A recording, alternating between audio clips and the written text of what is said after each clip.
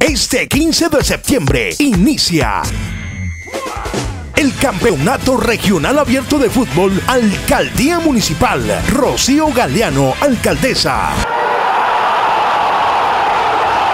Con una premiación de 20 millones de pesos, cupos limitados, inscripciones abiertas, entrega de planillas, tienda Zulia, valor inscripción 500 mil pesos.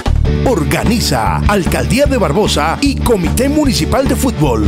Barbosa con